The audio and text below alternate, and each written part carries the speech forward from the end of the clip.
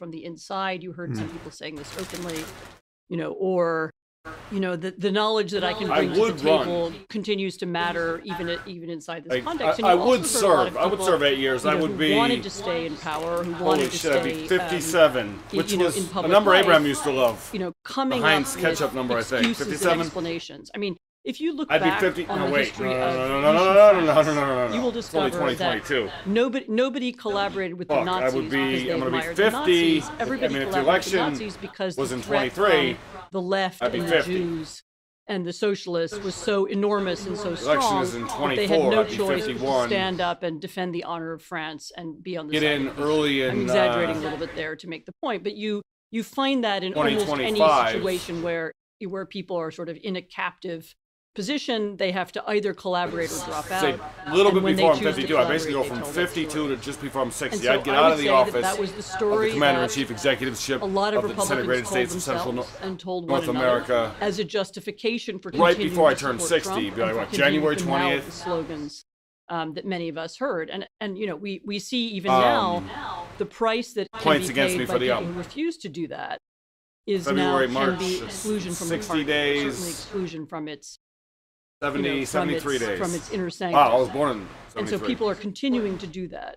They're continuing to, you know, to to invent a you know a, a, a separate but equal or or different but equal left wing threat that justifies their poor behavior. But this is the this is the this is a kind of human reaction that we've seen in I have smoked weed most every day for more than half my life. I've done cocaine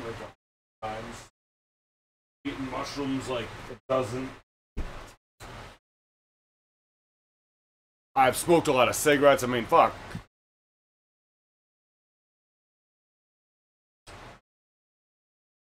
I hate the doc when it won't go away.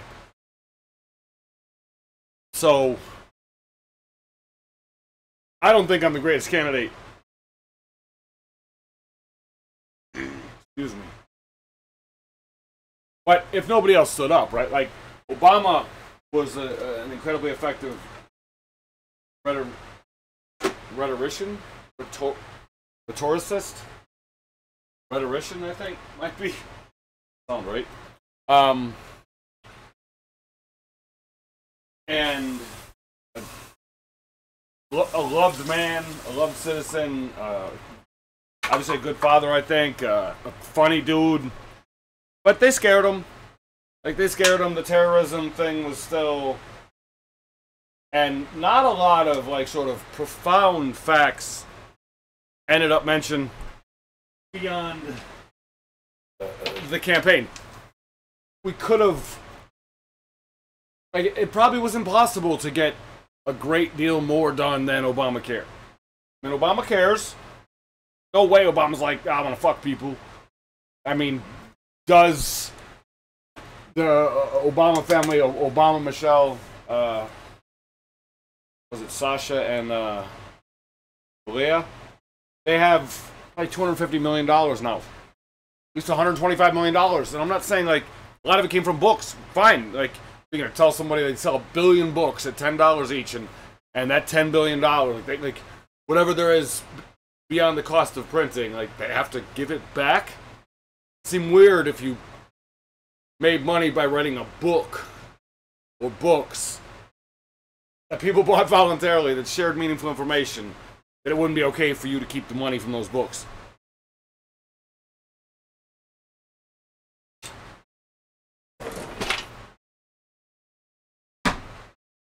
Now that leads me to something. I think that if if, if a great political party is to appear and it's not either of the ones that exist. They will not morph into something great. I mean, yes, it's insane, kind of insane that somehow, like a Republican Party that back in the day was not completely deranged because they realized what kind of being could attract a chunk of their base. And if you break it down, I mean, there's good people who are Republicans, sure. These days, it's it's a little tougher, but I'm a Republican, but I hate Trump or something. The party itself is not a great thing. It bent itself over for Donald Trump. It could have been like do not like we uh, Republicans could have said we believe that this dude, although the system is is fucked up and needs to be improved a great deal, this dude is a fucking scum. He's a scum. He's a he's a scum-American. It's not his fault that he was made terribly, but we renounce him.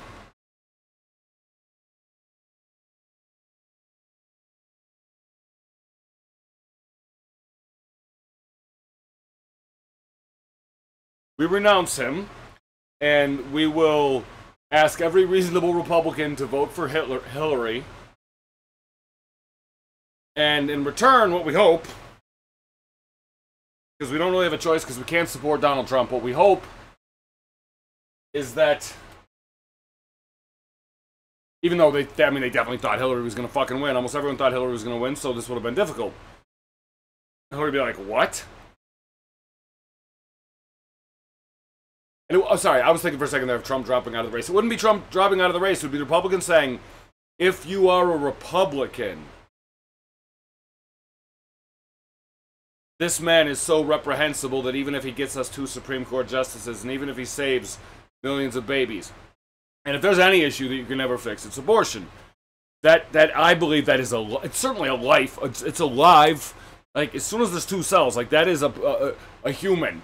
May not be a human being here now completely. It may not be a human being that, that can even feel pain, which I think is it cannot suffer.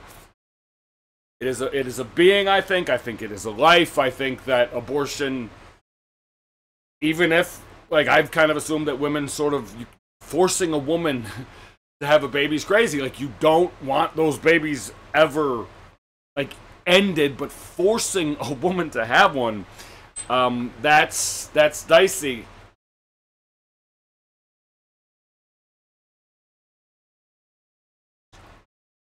I mean, the Republicans want so little government. But what, what, like, what would a real Republican even care about? I don't know. Democratic Party is an organization in America that does not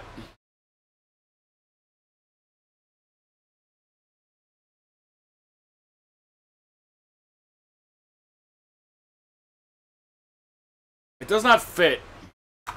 This is not going to go through no matter what I do. Um, it does not annihilate the Republican Party, despite the fact that the Republican Party would bend over far as fuck and, and nominate Trump or Walker. I mean, Mitch McConnell is obviously a, a form of a metaphorical, a metaphor of a, a metaphorical, like white devil. I don't think he wants to hurt. I don't think he's out to hurt people. I don't. I think most of them are probably not out to hurt people. I think the vast majority of them are not out to hurt people. I think if you told even Trump, you're like, here's the deal. You can get a fucking giant win, but nobody's gonna get hurt. He'd take the giant win. Probably over a situation where like you're gonna get like you're gonna be the seen as the best president ever, but you gotta murder you gotta secretly murder five people or you're going to be seen as the second best president ever, and you don't have to murder anybody. I think Donald Trump would not murder people.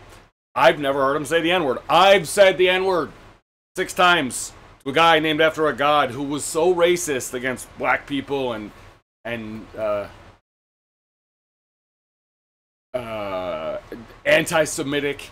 It's basically like anti-black, anti-Jew, and calling them like not. I don't think he was calling Jews the N word, but he was just using it in a way, and I'm like, no, you're the. And I said the N word. And I think I said, you're a white N word. And I said, I think I am. Now, it doesn't mean anything. Actually, it means things to people, and it hurts some of them. It really doesn't hurt white people. Like, then we're, I mean, oh, bleeding, fucking heart attack liberals, I'm sure. Like, and even just regular people who are sympathetic and, and also maybe empathetic, they can feel sorry for someone and also feel something like what it would be like to go through that. Um, which is what simp empathy. But simp empathy sounds like the empathy of a simp, but I mean, to some things, I think you could be a simp. You could be a simp to the truth and freedom.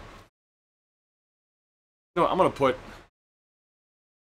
the cover instead of this video for now, this one which is overhead. my bed in my kitchen. Long story. I mean, I love it. Uh, disable video. Get rid of non-video part. No, fuck. Why is that showing? Huh. Uh, share my screen. Share screen two, and it's just whatever. It's a low resolution. I'm gonna do all six. Fuck it, motherfucker. I didn't realize, like, why not? Why not have everything on? Sometimes it can fuck. It it can be hard to get started talking, and my friends are assholes in a way. Like John. John worked, did some work for Obama. Obama, Obama, Obama, Obama. No, that's a joke. Like I love I'm I'm Obama Nation. I'm not abomination. Some there's people either think abomination like we're for this guy and what he said and, and at least tried to do and in some cases did. And a lot of the other people who don't like him probably fall over the edge of a slippery cliff and, and think he's a piece of shit. Like a piece of shit. That's not a piece of shit. I mean, he's in, probably got an eighth of a billion dollars, and that's not great. And I haven't heard him come up with an idea, like a big idea. Because if he spoke a big idea, he could go to Musk and be like, Musk, please, please, let us, let's see, Obama, Obama Musk. We'll call it Obama Musk. Which would be like Frost Nixon. Okay, who's the third person? Me. So Obama, Musk, and myself. You have a fucking president who can think and speak like very effectively. Uh, was a is probably or more so was a constitutional scholar, a skilled writer. People love him. Handsome guy, family man, like great political candidate. Like just a crazy great political candidate. He didn't need John. Um, and I'm high as fuck right now. Um, so, oh, Obama Musk has like 100 million followers. I don't understand why Musk didn't say, you know what, Twitter? Either give me a real good fucking deal, or I'm to start another site. Excuse me. With my 100 million followers. And, and what Musk would have found out instantly, not going to be that hard to spin up. You could come up with a, a decentralized system, find reputable, like people in each city in the world to run a server. It's only tech. Like for, you can just say it's only text for now. Link to YouTube videos. can't post videos because we don't have, can't build it fast enough. But we have a peer to pyramid where any message can spread out. You know, you have you have your ability. This probably wouldn't even be that hard to do. If your ability to send out a message to I I would say twelve people. You and those twelve people surrounding you. Thirteen. Uh, a baker's dozen one 169 is a baker's gross. 144 is a regular gross. Oh. Um, 1440 is the number of minutes in a day. 88% is the number of people that live in the northern hemisphere, which seems kind of crazy. The second name of my work for many years was Democracy with a Z. That's not the whole name. I mean, I'd say it was democracy with a Z, bro. Like democracy, democracy.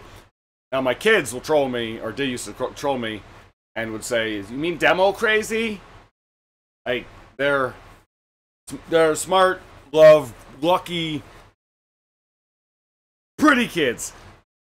I could be a much better father. I could I could have done things with my kids over the last ten years if I'd focused on myself and and not wasn't being the being I was made to be in some other alternative universe.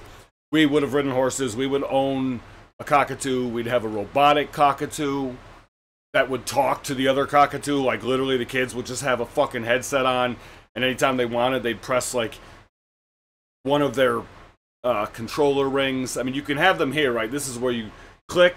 You gotta. So easy. Where's my I, I, I, almost thought about buying good headphones today. Temporarily, I can afford it, even though I'm like four grand in the hole. So you take something like this, I jack on, get more fucking high. Oh! Make sure this fucking audio is recording. I'll freak the fuck out if it isn't. Go up and click on docks. Audio mixer, it's fine. I feel like I'm yelling. So what were you looking at? We're talking about some VR shit, right? Uh,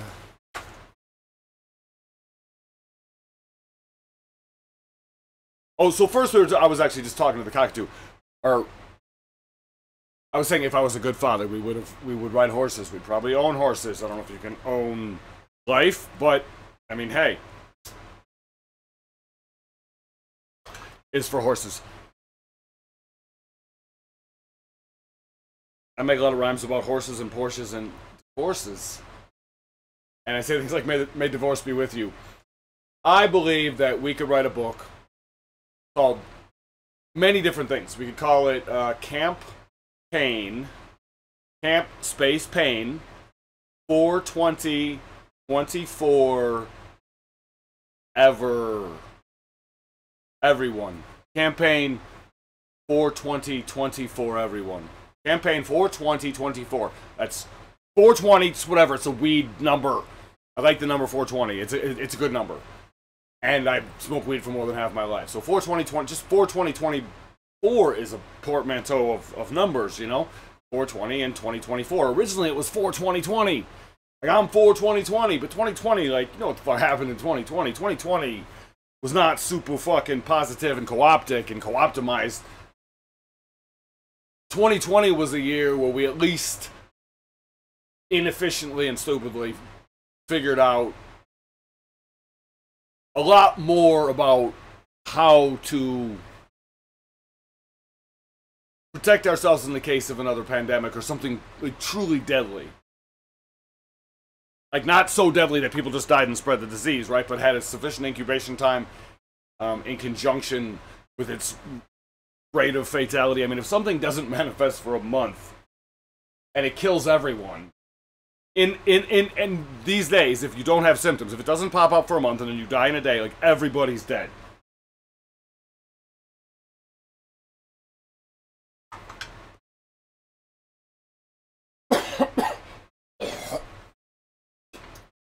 so we would have ridden horses. We'd have cockatoos, probably a robotic cockatoo. This, my microphone arm, and and uh, this the architectural drafting light from Office Max. They would be actuated. Each one would have an actuator. Like you can have erector, like we had erector sets back in the day, but I had, and you still buy erector sets. I think a modern version of an erector set with different metals, um, different metals manufactured well, combined with the idea of what I call a junk bed or a punk bed, a fiber punk or a fiber junk bed. And a fiber punk bed would be something like, listen, we're making this thing out of uh, pieces which are, you know, maybe like iPhone cables or something, like a three foot piece, probably a one foot piece. Right, one foot piece, two foot piece, three foot piece, four. Um, and then you could probably assemble, like if you had two, three feet, you a bunk bed, corner posts would be two three foot pieces. There'd probably be another piece that would, you know, connector pieces, which would probably be magnetic, and you would just magnet would be in there. You put it in, it would pull. Put the other one in there, pull. And unless you had a giant earthquake, it's not going to come out. You could obviously, I think, lock it also if you wanted to. Um, bunk beds are a lot like scaffolding. We could make easily make bunk beds where well, a few things. One, so many products to make and sell, and and I, and I'm in a position when we're in a position where we can do things to coalesce human intelligence, like take ideas and bring them in front of all of our people who are more curious, more intelligent, more unselfish people on average, like 100%. We can guarantee those things that the people who are a part of our company, our company, not not a boring company, extremely exciting company, uh, a cooperation a cooperational, create your own uh, adventure, capital, family business. They would be brighter, more curious, and more forgiving and less for taking. They would average in all those three columns, I think, sufficiently better than the average, average human. Y'all do respect. It's not your fault, not their fault. Very deterministic, but understanding or at least believing that despite wanting to help people who've been hurt, if you're trying to create great examples that you think could propagate and spread throughout humanity and, and, and make life far greater, possibly voluntaristically over the next 10, 100,000, million, billion years, you might at some point need to gather together people in a community where people who've been like ruined human beings. There's probably over a billion or two. I don't know.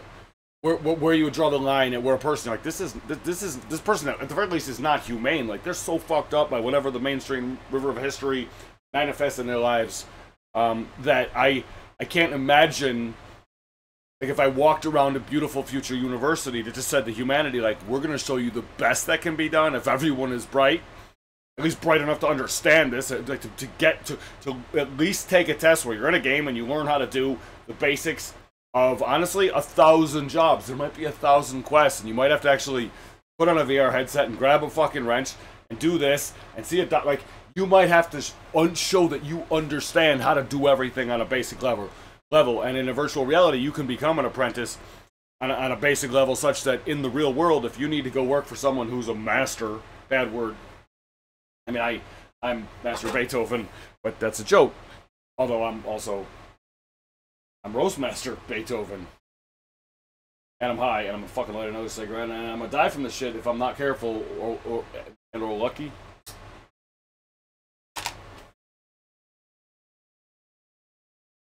Um, so a person wanting to belong to the greatest, most phenomenal, uh, richest cooperative in history would probably realize like fuck in order like I can join this and be an E Squire. You know, I'm Kafka Esquire. That's what I call myself. So many things I call myself. I have the best things that I call myself. Absolutely tremendous things that I call myself. A lot of them are like pre- like pretty to pretty pretty to ridiculously applicable. Um so in the real world, you have a person who's who's really great at something that, that, they have a master's, and and you're having a competition where they need to work with somebody else. First person is somebody who's learning from scratch, an intelligent human being with, with no knowledge of, of what's happening, um, and the other person who spent one hour inside of a brilliant VR simulation, um, which they have to pass, and which explains what at, what at that moment is determined to be the, the truly necessary information so that you can be of assistance to someone who like you can work with a person who is a, who does have a master's as an apprentice who even even with only an hour of knowledge. And you could say to people like listen you want to be a knight like in a nightclub you want to be a good knight a crypto knight like to become a knight you may have to put in a thousand hours or averages would take people uh, a thousand hours to learn all the shit so that they so they could say it to the AI and, and, and get all of the thousand questions correct or whatever it is. It could be a very short process. It could be not like a, ver- a very few complicated ideas, deeper ideas, and then two thousand other ideas that I've mined in 25 years out of my mind, where every new idea is mine. Not having search, so I mean, it could turn out I can search every word that I made up that never saw or have no recollection of seeing and, and find out that they all exist and still bring them together in a way that creates a splash and an impact on the planet. Um, which certainly can happen, and it's far from delusional to believe that someone, even a, a really high level subgenius, could overachieve and tell, compel, and tell, not compel, um, tell I mean, could almost compel people to, by the power of the narrative narrative itself to open new pathways in their brain uh, of a type that might come from an Optimus Prime mind. Optimist Prime, like optimistic. Like optimisticism, like co-optimisticism. Like eco-optimisticism. I think I missed a schism. Was it race? Schism? Or was it race racist? Do I want to go back and erase this? You some kind of basic basis? And if you were, would you face it and would you say this? Um, fuck, another um, points. It could be curse jars. Like, in a decentralized, cooperative, constitutional, create your own, choose your own, create your own constitutional system where you, A, probably have to demonstrate like an understanding of the entire core thousand occupations it takes to run this university. We'll say we're building something out of fucking scratch. almost everything that will go on in the city has a very, very similar parallel in existing reality. Like it's not like we're gonna become like a, a thousand years in, in, in the future in terms of what plastic we might use to run hot water, or to dig holes in the ground, or to pour concrete, or put up rebar, uh, work on and plant like plow and, and, and sow and water and fucking fertilize and, and reap and deliver like crops from farmland. I believe that we would end up building in an extremely basic way, wherever we decided, like whatever the land was for the world's first universe city. It might it might very likely, like when looked at from from a balloon or space, have a hexagonal pattern. Like a lot of animals, including humans, love hexagonals. Like the hexagony of certain manifestations of hexcentricity. So it might be like you have, you look down, you're like, holy shit, there's a thousand acres down there, and there's like this spread out fucking city, and thousands and thousands of homes, and, and a thousand hexagonal spaces. I mean, fuck. When you okay, when you're in, so I'm imagining this. This is how I see it. You have a, you look down, you have a piece of land that is hexagonal. Now, the lines that make up the hexagon, those are the pathways on the ground through the hexcentricity. Each person, or where people would predominantly live, or maybe where all people would live, even though all spots might not be used for this, the po six points of, the, of each hexagon would be like a, a private property. But like the whole thing would be a city built by people together, like having made decisions long before it even fucking existed. We're starting to make decisions before it existed, and decisions which brought it into existence.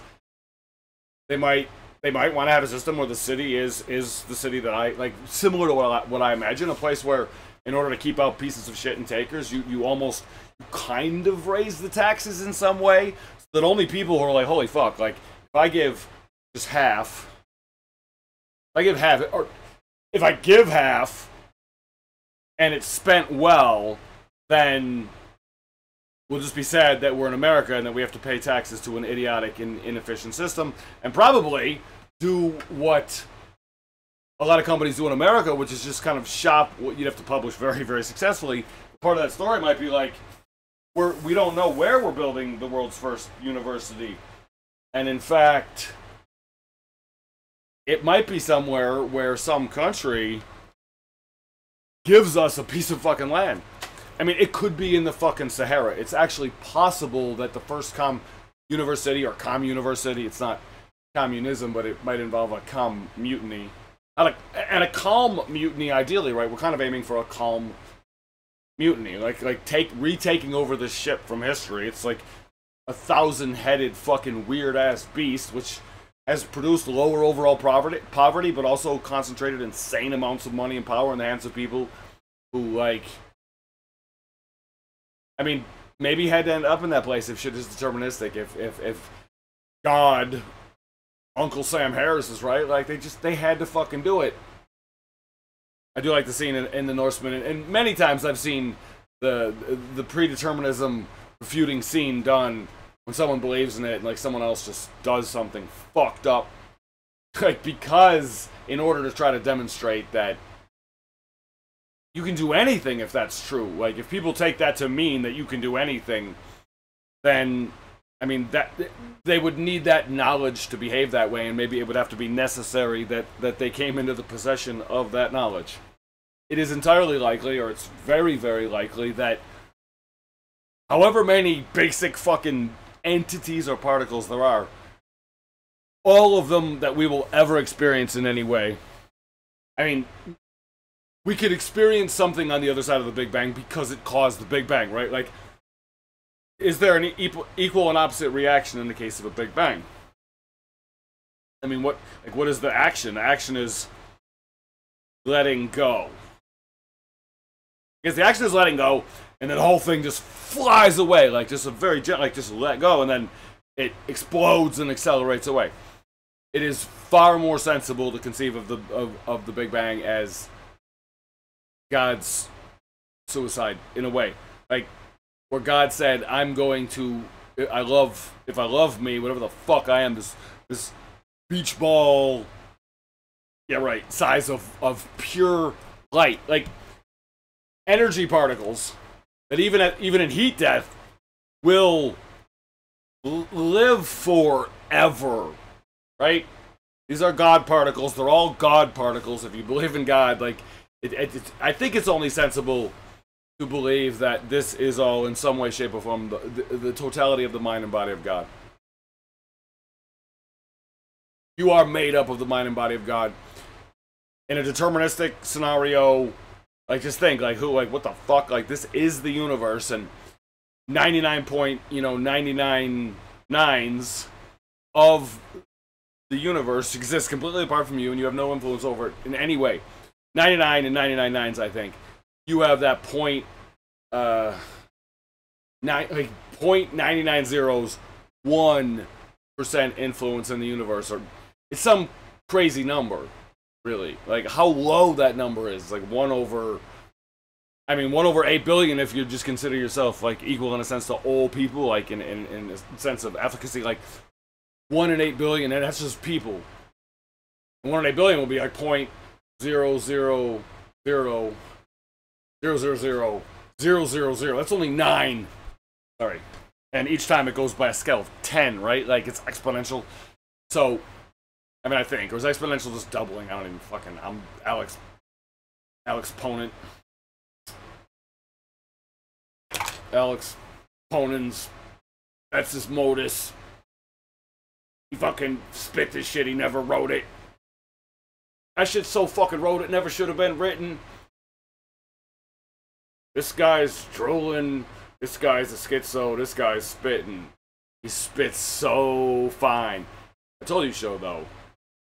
And I told you that I came up with all these ideas and rhymes out of my mind. Where every new idea is mine. It's like where every new idea we find. Where do we find every new idea? Out of our minds. If it's in your mind, it's not a find. And you can find ideas that other people have found. They don't share them. You can do that. And if they share them, you're brought directly to them in a completely different way from if you find those ideas yourselves it probably would be a good idea for us to, to, to kind of consciously, I mean, teach kids better, give them better opportunities to learn in better ways, but um, in part to experiment a little bit in, in different ways of not giving them too much information or kind of setting them up in a school which would not be able to happen with like totally age-based classes where they are presented with a lot of information then they themselves need to create the theory, right? Like they keep asking for hints, and and and in the end, it might be like, "Fuck, I got every hint," and it really was almost no leap at all for me to develop this theory without being told this theory. You go step by step, you can kind of lead them up, and and you'd at least find out in that case which kids just jumped, right? Like which kids with a few pieces of information was a weird stutter with a, with a few pieces of information jump to that appropriate conclusion. I I think of a few different demographics. Um, the most, I mean, in a lot of ways, I, I was born and made to be the opposite of a Nazi, like the opposite of a National Socialist, but more so, this is like the, the opposite of that is what? It's nothing. Um, or maybe it's pure good, but the opposite of a Nazi is in the opposite of someone who does not see, right? A person who does not see reality crystal clearly anymore. And I think the one thing that is most likely to cloud your vision and make it so that you you do not see reality clearly is lies, whether it's whether they're accidental or intentional, if or like, like things that are told to you that are not right, that are not true, and then things that you do, like you you start to say things that are not true. Like my own father, a good dude, worked hard, better father than the vast majority of them, and my mom too. Um, a few years ago, basically, just made kind of a, a, at least a pretty simple, quick argument in favor of telling white lies. Or or being able to tell white lies or whatever. And and that's not the the, the fucked up part at all. Fucked up part is that he made that argument with not only without the expectation that I would have a good, like a really good argument uh, in return, but like such a low expectation that I don't think he even seriously considered what the fuck I was saying. And probably at this point, if you ask him, um, I mean he's like 80, so he's not. I mean I'm I'm 50 at this point. We get older. Um.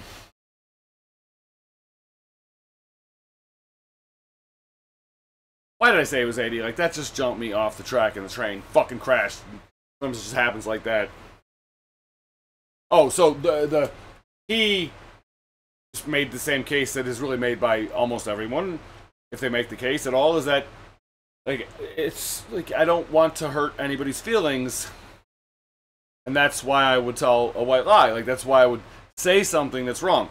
And there are at least a couple of different ways that you can you can look at lies and see that that they're bad. Like you can look and think like shit, yeah, you're not hurting this woman's feelings by lying to her. That like that creates, I think, if it propagates, if that's a policy, a fake society. Like don't have anybody who's completely real if everybody's lying.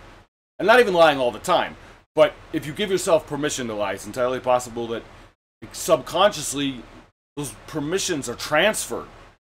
And when you're asleep, you can write to your own mind if you if you if if your mind has permissions to lie, you can write shit into your mind that isn't fucking true.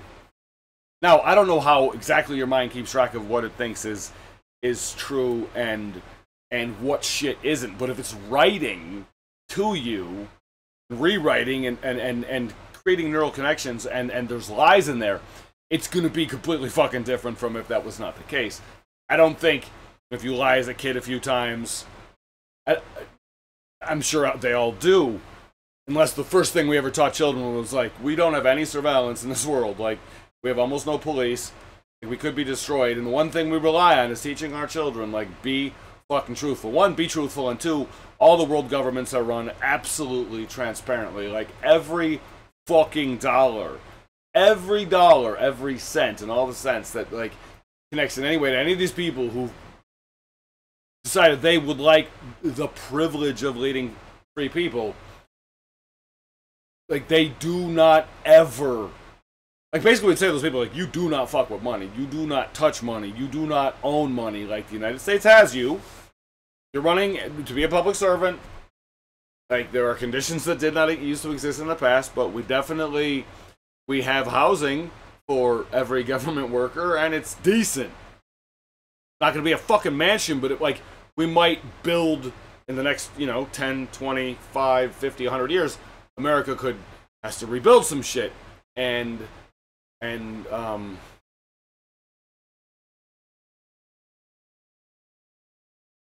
fuck, it's almost four o'clock. One of those things might be like really fucking awesome housing for people who work for the government. Would like there are benefits to this. It is extremely efficient. We have economies of scale.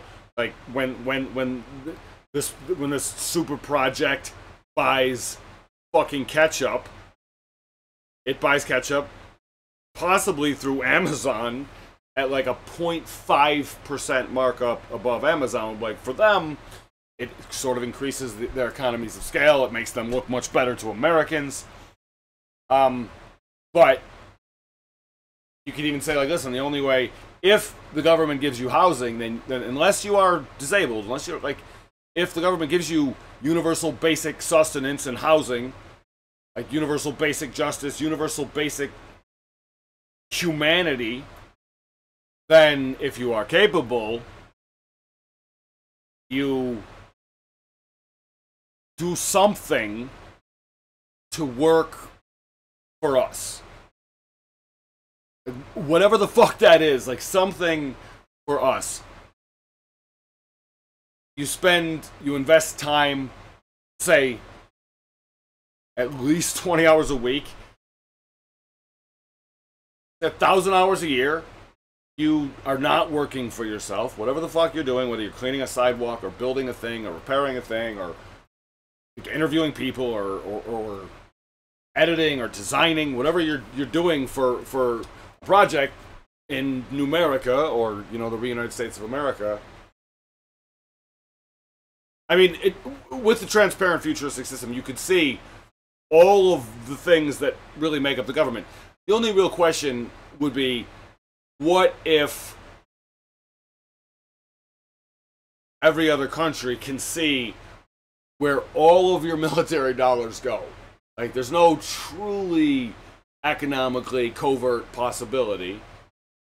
I mean, I think with the amount of money we spend, it would scare the shit out of them even worse. They'd be like, holy fuck. And they know that, like, if there were a war and it was not nuclear. I mean, this is happening in the Ukraine in a way, right?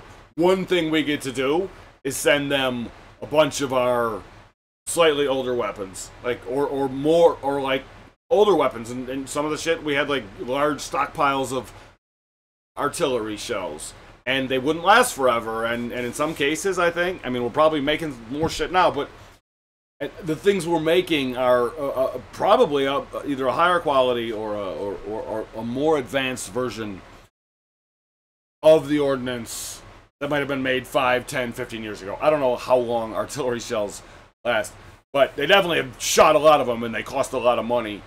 And somebody gets to make them, and usually there's profit off that. It's hard, like, America crushed it in World War II, I think partially because of, you know, profit. And the Nazis, so many stupid fucking crazy things, thank fucking God.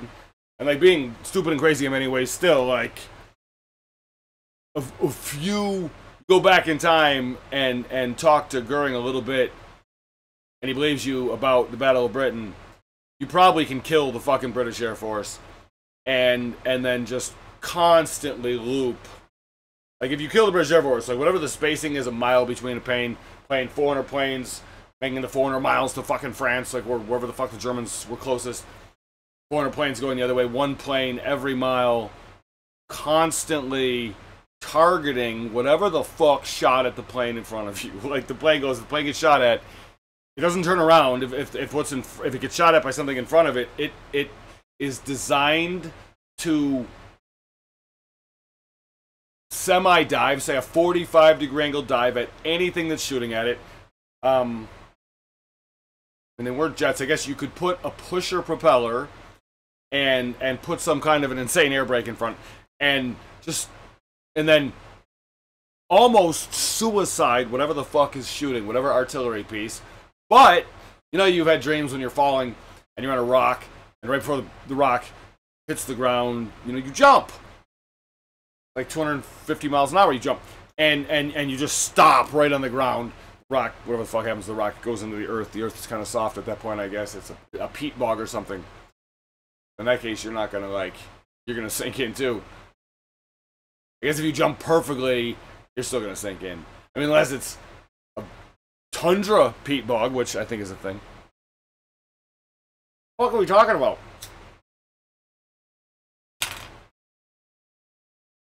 Oh, so you could be, you could be, I mean, I don't know about World War II. Yeah, in World War II, a, a person could be lying in the back of a, oh, fuck, not if, it, if it's pusher prop, fuck. Okay, so here's how it goes.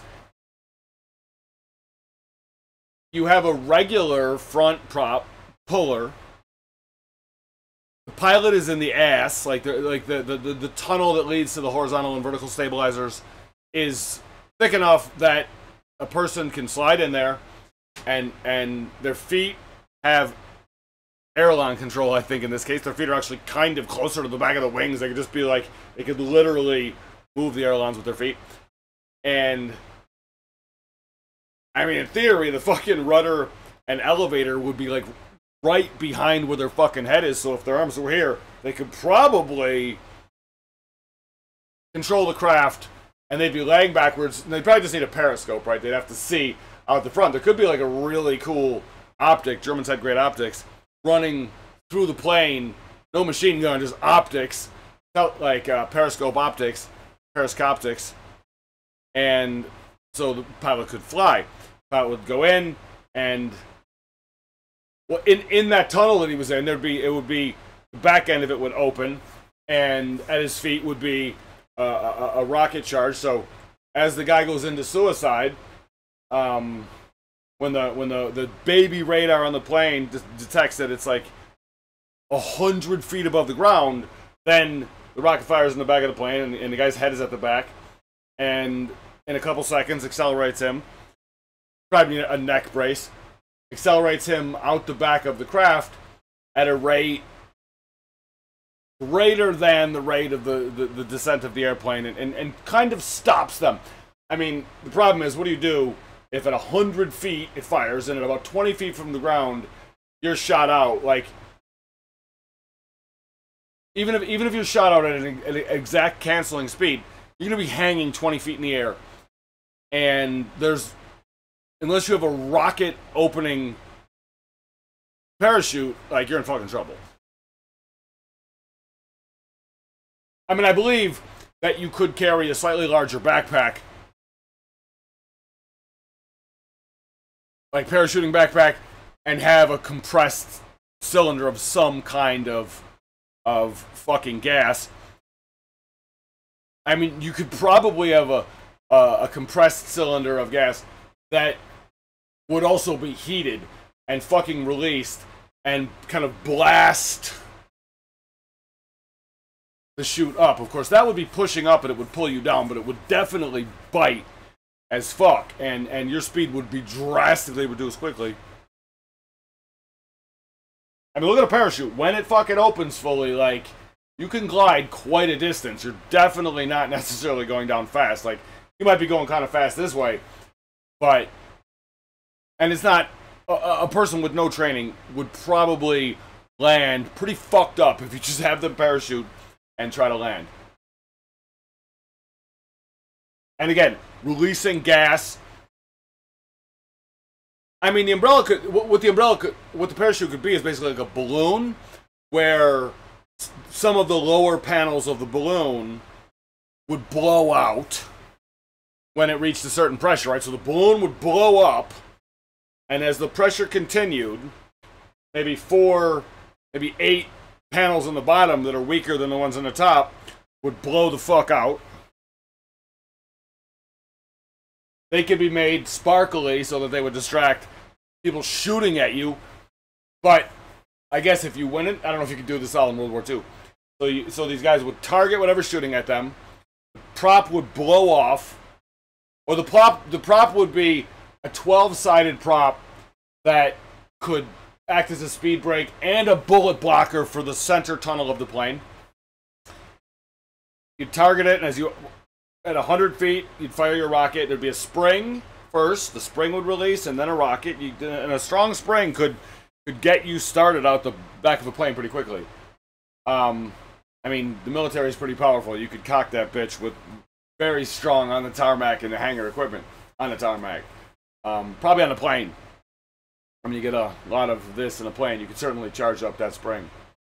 Now, that spring, I mean, if you have a strong enough spring and you're falling in a free fall, it, certainly it could push you up some. And I mean, I don't know if you could make a spring strong enough and, and, and realistically where you could stand inside of a rocket that was falling, like inside of a tube that looked like a rocket that's falling straight down, and you're standing inside of it, and it's in a free fall. It's going 200 plus miles per hour, and you release a spring that accelerates you right, like just in time, so that before the rocket hits the ground, like your speed is canceled, like accelerates you up to 200 miles an hour as you're going down 200 miles an hour and actually fucking stop you on the ground. Now, there's going to be the wreckage of something that just hit into the fucking ground.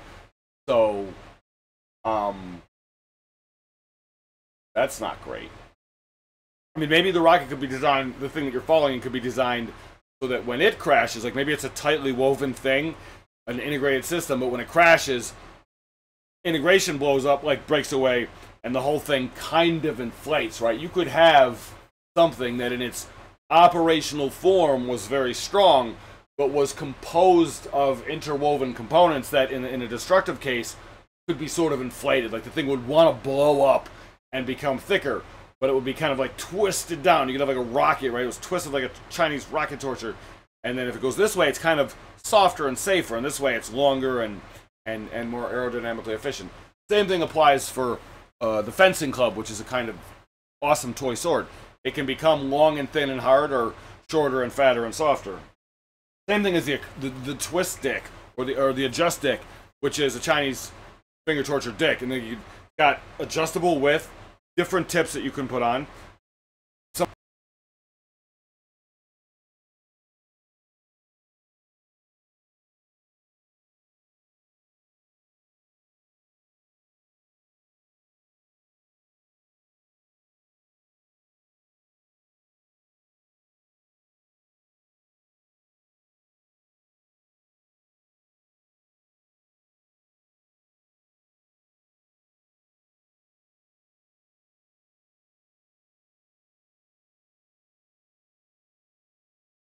Regular computers, TVs, phones, and and beautiful VR shit, showing you how to fucking do it.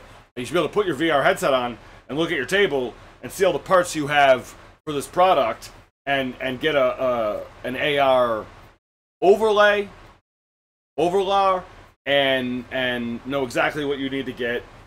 See a little framed window here. A person can pop up, show you how to do it. You can learn how to do many many basic things very quickly can see things in in well in video, but more so in, in, in immersive virtual reality with mixed in with video reality that are I think a thousand times cheaper than what it would cost to do them in reality. And if you want to build great ideas, you're going to have to iterate. You're going to have to go through a lot of ideas. A lot are going to fail. Science of different kinds is going to prove that some of these ideas are not hyper efficacious, and and you need to get rid of them. And that process, if you're trying to build real communities in the real world, which can cost billions to, to, to start even a smaller a, a smaller city. I mean, you don't want to start at fucking ground zero, right? You don't want to start with a giant pile of destroyed buildings and, and humanity. Like you want to start. I mean, that was a bit of a jump but when I said ground zero. That's what I thought of. I mean, you don't want to start with without human intelligence on on the, the network virtual side. Like you can see pretty much exactly what a building looks like that you're going to build. You can see the circuit boxes that are, are, are in the immersive space, the same circuit boxes which come out of an engineer's design program and integrate with the other electrical systems which come from other engineers' design system and the, the, the city simulator. Excuse me. The a simulator, I think, would allow you to create uh, a city operating system in a virtual space, which would bring data that was extremely comparable to the data of the real world, real world, how things are done in the real world, and only apply some algorithms and multipliers in cases where we might not be doing anything different, like mechanically or technologically. We might just say, well, you know, in, in, in a million person northeastern city, a hundred thousand people own shitty snowblowers, and we would rather in, in a million uh, person city that there were possibly say a thousand. They had a million thousand. No, wait, wait, wait. A hundred thousand thousand dollar snowblower. Or they had a hundred million snowblowers. Let's say they had fifty million in snowblowers, and they're all kind of shitty. We might say, well, part of this because there's new technology and we're building from scratch, but instead of having a hundred thousand people each owning uh, five hundred dollar snowblower, and the rest of the people not having one at all, and they're having to shovel or pay some commercial service, like prices that really vary in their effectiveness and in their efficiency depending on how much it snows that winter and depending on the kind of contract that you have, you know, with that person. We might say for a million people, instead of getting a hundred thousand, fifty thousand dollars snowblowers, I mean, we could just say we're getting, uh, wait, sorry, a hundred thousand, five hundred dollars snowblowers. You might say we're getting five hundred, one hundred thousand dollars snowblowers. Now that would be one per two thousand people, and it's not going to be super easy to plow their driveways. And someone say we're not going to have driveways anyways, right? Like I call the the garage apartments kind of like where, where, the footprint of where these products go, super garages, and it's kind of a an ironic name because they're kind of designed for a place where people do not put cars in the, in, their garages anymore. It's not that in some cases, a city might not be built that has 10,000 people and 2,500 awesome four seat electric vehicles because part of the Constitution says you have to have enough seats if there's no airplanes. You have to have enough seats for every fucking human being in the community to exodus very quickly if necessary. So for 10,000 people, you don't need 10,000 cars. In the real world, you might have 5,000. You need 2,500. And also, they don't. They wouldn't have to be like a bunch of Honda, Honda Accords. You could have some large buses and then some motorcycles and airplanes and boats. All that kind of shit. Like if the government does it, I mean they do it in the military, right? But it costs us shit of money, like boats and planes. All that shit can be done far more efficiently and safely by something you know similar to business and even drastically more so if you don't just rely on extracted profits by a business that manages to sell itself as a, a brilliant investment for people who want whatever the fuck it's going to provide and say we we must get our money from ourselves or this will be built to extract money from us.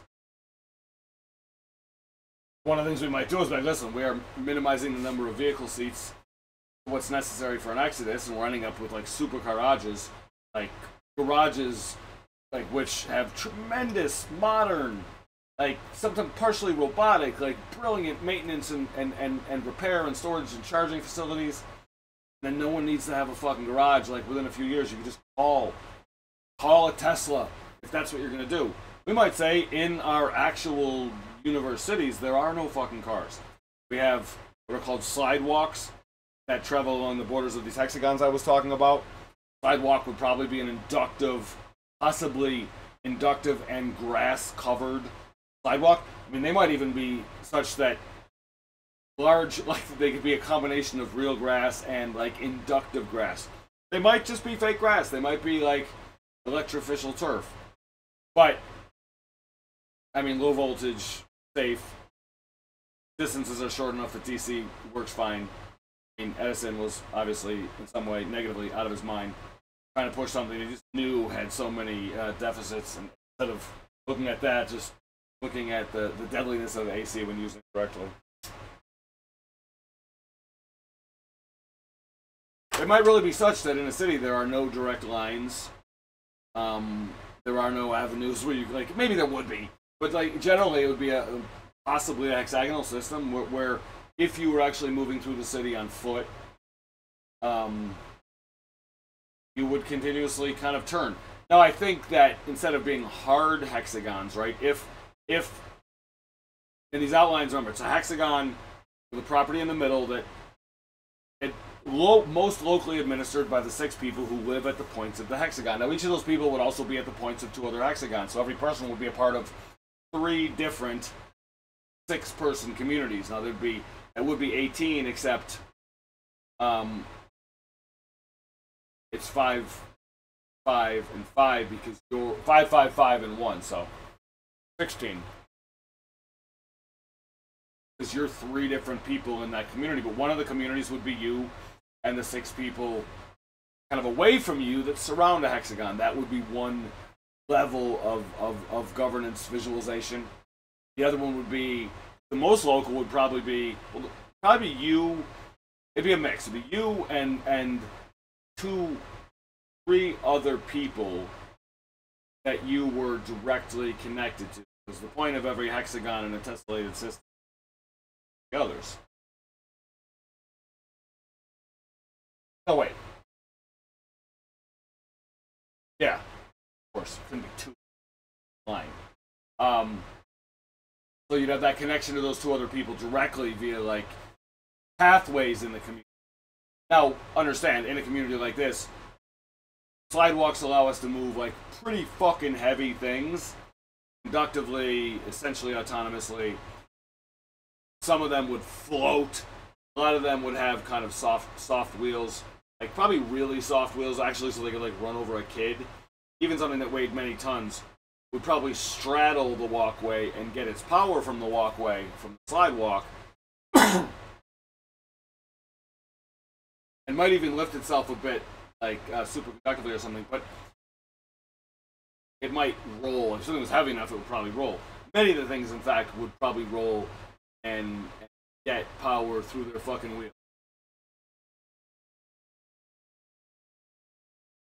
Pathways, like you kind of look at a train system where, when drive you go through the city, like there'd be a lot of turns, but they would be curved enough. It wouldn't be like a, a what is it, a sixty degree angle, um, hundred and twenty degree angle, I guess. Versus going going going straight. Hey, you're turning off 120 degrees. No, wait, wait, wait, wait, wait. No, it's 120 degrees in front of you. You're turning off 60 degrees. I'm not sure. But in, in, a, in a situation like this, we'd probably have lots of like little electric short range, short range zeppelins. Probably not helicopters. Probably not hard drones. In, in, in, a great system, there would be various different sizes of, of essentially low altitude, like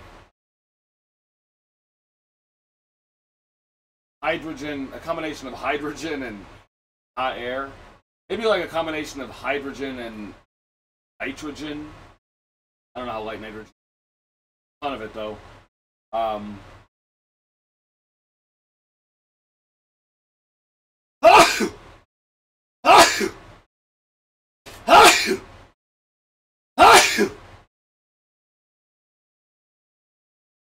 Helium is is we're not going to have fusion reactors. We're going to run out. I mean, we may have fusion reactors producing helium. We may filter all the water in the ocean in like a giant fucking aquatic solar plant in the desert. Like that could definitely happen. And doing that, we might find all the tritium. Tritium is necessary. We might pull out those microscopic, nanoscopic quantities, but from trillion, a trillion, trillion gallons of water, whatever the fuck's on this planet, it's a lot. Um, so helium would probably be out of the question. If you're if you're flying at low altitude and the craft is designed right, I believe that a hydrogen-filled craft, if it's sparked, um, would would I think be designed so that the hydrogen that the vehicle would break at the top. And the hydrogen would, would, would form a ball of flame. Um, and then the, the bottom, maybe the structural rigidity of one of these would come from half of the flying saucer would be like carbon fiber, bottom half would be carbon fiber, and the top half would be like balloon. Bottom half could be carbon fiber with spacing, right? Like a, a loose weave of carbon fiber or, or something, with a very thin, uh, have to be hydrogen resistant plastic inside of it. Strength would come from the combination of the very thin film and the net of uh, composite reinforcement. I think you could probably build you build a balloon with just I'm sure the kind of are in a way nets where you have a fabric different layers of fabric, one of which is gas containing, which is structural if I mean you can make, you certainly can make a hot air flying saucer. I mean, you okay, you can make a you can make a, a hot air flying saucer diameter of I mean a fucking city block if you want. Say I mean to be a hot air flying saucer like say 250 feet in diameter and a hundred 20 feet high. That's a tremendous amount of hot air that's going to lift a, a thousands of pounds. Now, if you suspend uh, a very efficient jet engine in maybe not in the center, maybe one third of the way in, and such that it that it can rotate, you could you could create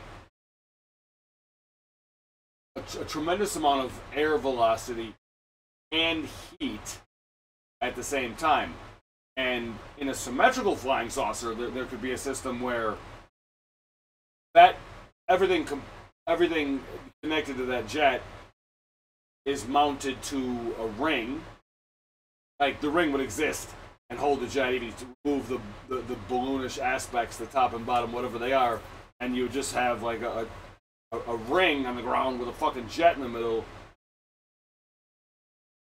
You'd probably need eight really strong cables to connect this thing. But jet could produce thrust and a lot of heat. The heat could be largely kept, right? Like it could be a relative. What do you do if it's relatively high pressure? If you increase the pressure too much, um, I mean, what happens when you when you fill something with air that's getting fucking hotter? It's going to expand, or increase the pressure by more of it and by the heat. So we would say, well, what happens is that we, and you need a tunnel right to the fucking engine. It's kind of crazy. You're not going to suck air from inside. Like the le- the point where this craft would go would be determined kind of by a compass needle inside of it holding the jet, and the jet would be able to rotate in the air based in that in that most structural ring of the whole fucking thing.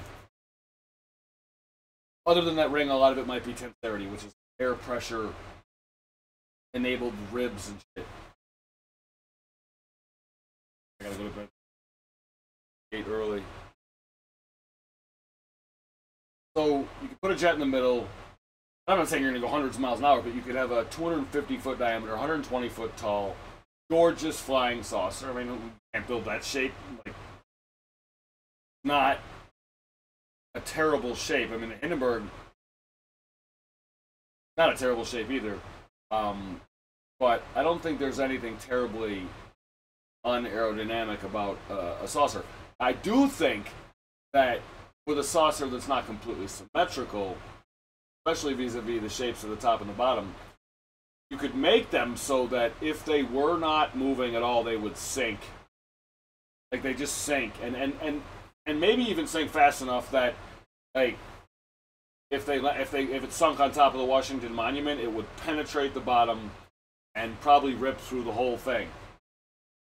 We need Washington Monument deflectors in a situation like this, but where it would hit in the ground and it would pop, and the people that were in it, if they were in it, would be I don't know, maybe they'd be on top. And a lot of the force would be absorbed by the impact and the popping. I'm not saying they would fall like a rock, right? I think they'd fall fast enough so that when they hit the ground, like they'd be destroyed. But as the hot air escaped, a tremendous amount of force would be absorbed. And they, even if they're going 20 miles an hour, it's like you're in a car a modern car and you hit something, you hit something like a wall 20 miles an hour, if you're like, you can easily, completely survive that. And people would probably be strapped into Zeppelins that weren't, you know, fully reliable at that point. So you could bring in the hot air. You could run it through the jet. A jet produces a lot of fucking heat, which could be captured through exchangers, which were part of the the rearward frame. And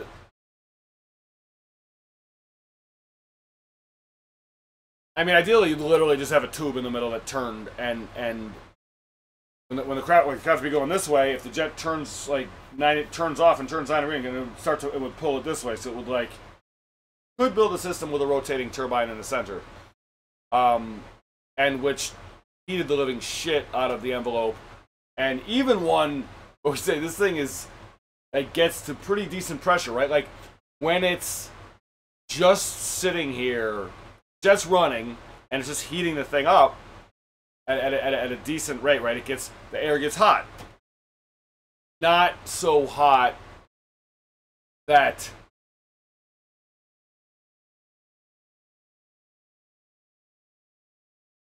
that it pops.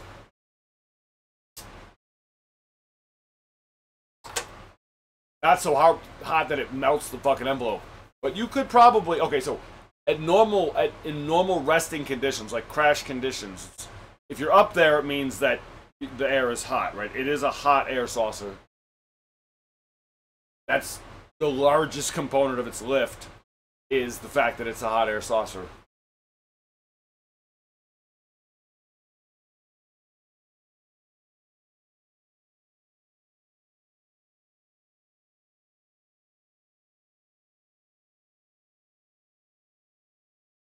so with the the jet engine running at just just the speed necessary to heat it,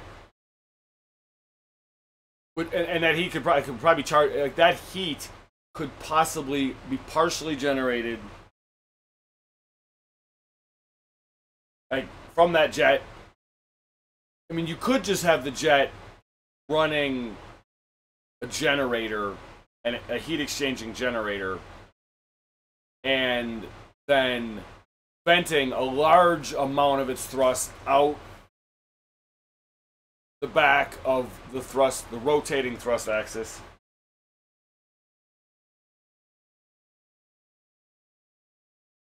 But maybe taking 25% of that power, like running a turboprop, like a like a turbogen, and then maybe having maybe having thrust fans. Um, I mean, you, you would need auxiliary power, whatever.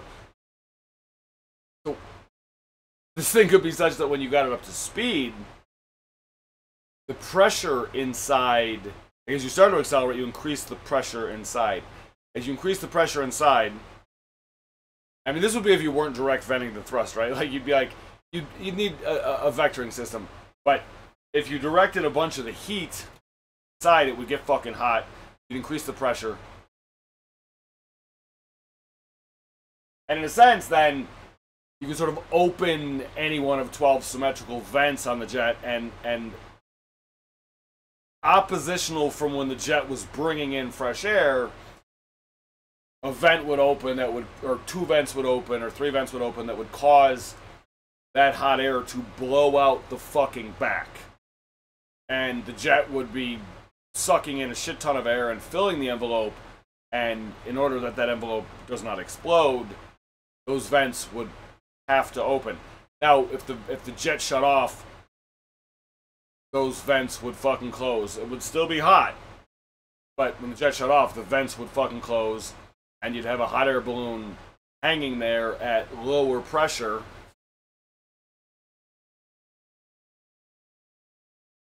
Still enough pressure to hold its shape.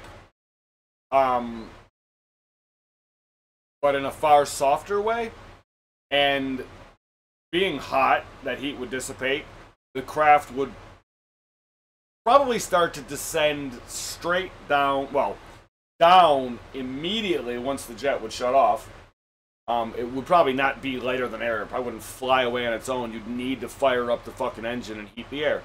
And part of it could just be, you know, you have maybe part of, like, there's a, maybe there's a donut I can see building a donut of, of hydrogen inside of uh, certain craft, like Dronuts, which is a drone shaped like a glazed donut, a prop in the middle that can rotate. But um, good if you put the hydrogen, or even uh, say you put hydrogen in a donut, that donut's gonna have to be, uh, I don't know, the hydrogen's risky. Put hydrogen in the donut, and in the center of the donut you could have uh, a spherical hot air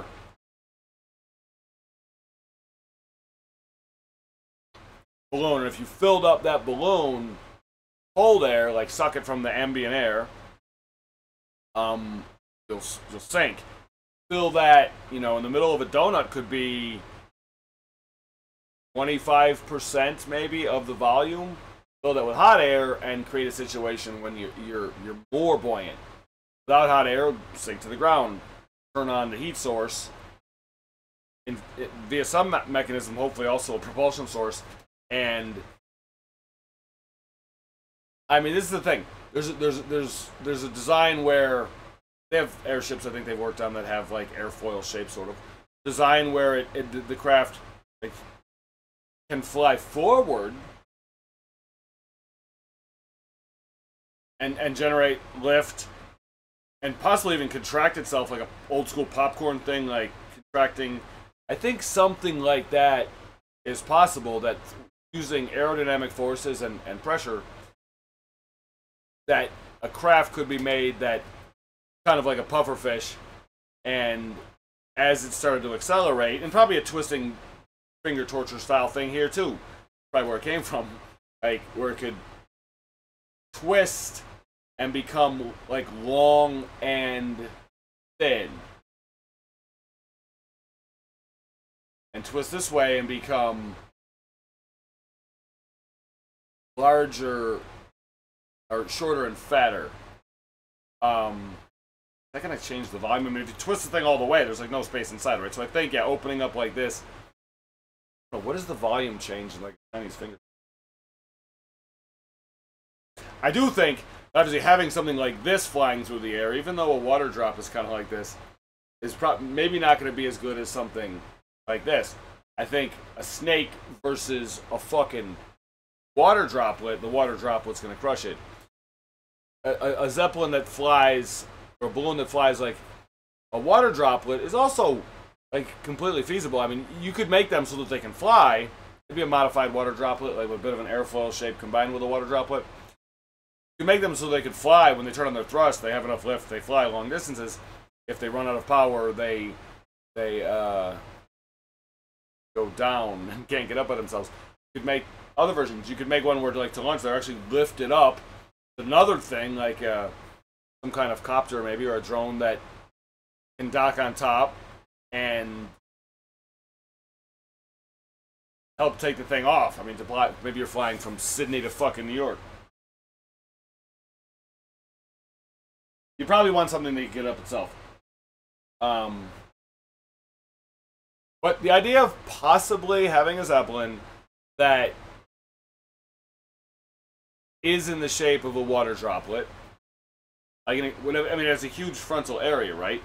But it also shunts that water. I mean, water droplets form. Maybe it's not the perfect formation and result to aerodynamic forces versus something that's not a liquid, but it's a very, I believe, a, a highly aqua dynamic shape is probably a, a highly aerodynamic shape for the, for the most part. Something like that would be kind of weird. You'd think if it, I mean, it's kind of the shape of a hot air balloon almost, but what if you had a hot air balloon? This is where it doesn't work, right? So you have a hot air balloon, you put a jet where the basket is. Now you're gonna pull it in the wrong fucking direction. Like that's the problem with that. You could put a jet there if you were really using its thrust in a strange way. Like I guess fuck. I guess the balloon would be sitting there. The jet would be hanging from the bottom. The jet would be pushing down. Jet would probably be pushing mostly down, but then you know would probably have like brakes on a on a fighter jet or something. It would have thrust reversers that would that would push a portion of that heat into the fucking like giant water drop shape balloon, heating it up. I mean, you have a thing that kind of like that that flamethrower thing, right? It's just to it's just to heat it up. So, in theory, you fire the jet correctly, reverse 10% of the thrust or whatever to, to heat up your balloon. And then as it starts to get lighter, then the thrust of the jet itself pointing down can lift its own weight. Like it's basically hanging from the balloon. And without its own thrust, it would go down, it would pull the balloon down to the fucking ground, right? If, if the jet fucked up, you could cut the jet off. And the jet would probably have some kind of a auto rotation system or something, some some kind of one-time use, like retrograding mechanism in case it had to be cut off, so it didn't like land in somebody's house. But the jet could point straight down and and be ducted such that it would lift its own weight, and that being a large portion of the weight, and the, and the jet could be connected to the systems that hold fuel, where you have quite a significant lifting force above, but a force insufficient to lift with an attached jet that's not on. Turn on the jet, that's probably how you'd inflate the balloon. balloon starts to pull, right? It would pull at the jet. It would have no chance of lifting the jet completely up into the air. None. Couldn't fly away. But the jet would certainly probably be stabilized by its mounting at the bottom of this uh, teardrop, I guess. Well, teardrop is, I guess if it falls out of your eye, it's just a water drop. But I don't even think it has the time to form speed up enough to achieve like any kind of terminal shape. So the jet would fire, balloon would inflate, get hot, start to pull. The jet would basically standing there underneath it, firing thrust into the ground. You turn the jet up, turn off the thrust reversers, you tap just enough to keep the balloon hot. And the thing could go up like thousands and thousands of feet. Most of the balloon by itself, again, capable of lifting itself too high. The balloon itself might just be a balloon. There might be three parts the jet, passenger compartment, and then the balloon. Passenger compartment could actually be at the top of the balloon, so it, it gets kind of weird. What you would need, I think, in the in, in the front of the balloon would be a hole. In in like a, a say the diameter of this same water drop shaped flying craft is uh, 150 feet. Maybe in the center of it there'd have to be like a, a composite intake tube, like a funnel, maybe a, basically a funnel, uh, with the ability to retain its shape while pulling in whatever the appropriate number of air molecules are. Now, you change the aerodynamics of a water drop if you open a hole in the front. You do. But if you bring in air at, at, at whatever the ideal rate would be, I think you, you can be extraordinarily aerodynamically efficient and, and bring a lot of the air that you're running into through your craft and and to a jet. Now, be kind of weird. You're hanging here, you got this big balloon, and you got the jet, and the balloon can lift. Jet is down here pushing down.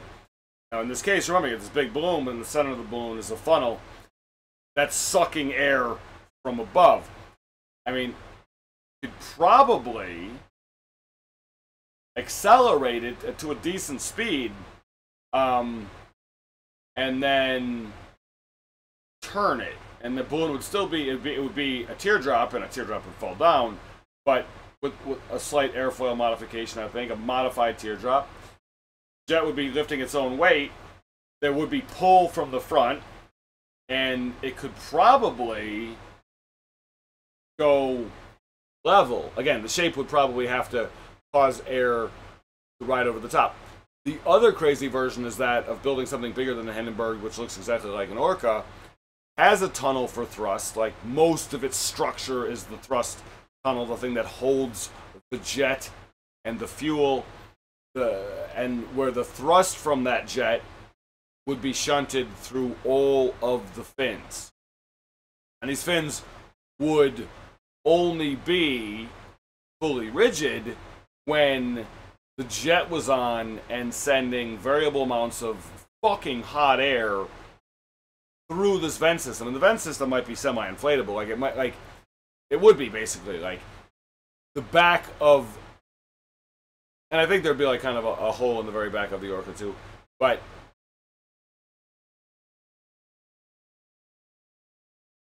you make something like that and you can direct thrust through the fins. You can create a highly aerobatic I mean we could build a highly aerobatic non-hydrogen zeppelin that could swallow the Hindenburg and, and steal all of its gas and shit it out. I got I gotta go to fucking bed.